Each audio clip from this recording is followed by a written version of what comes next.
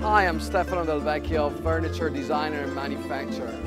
Our latest development is the Sumner Pine Collection. It's an extensive line composed of dining sets, coffee tables, consoles, mirrors, dresser and bedroom pieces. All pieces are made from solid pine wood harvested in certified forests. We select logs of higher density with full grain and beautiful nuts. The inspiration for Sumner came from weekends spent at my grandmother's country house.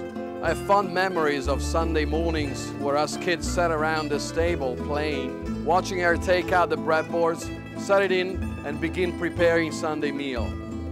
To recreate the same feelings, we developed a 20-step finish. We wanted to highlight the true texture of the pine, yet adding depth and character of my grandmother's original piece.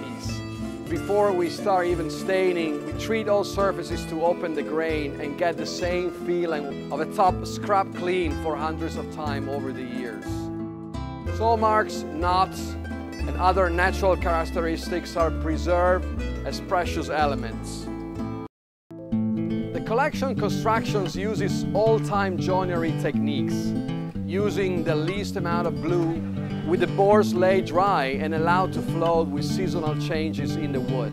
All wood joints are pre-stained, so no whitewood parts are exposed.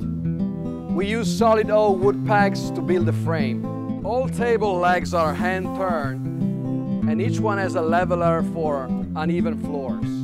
The leaves are an important feature, and I wanted to keep them as they're so convenient when sudden guests show up. I'm proud we've been able to recreate for Pottery Barn the look and feel of this time-worn classic.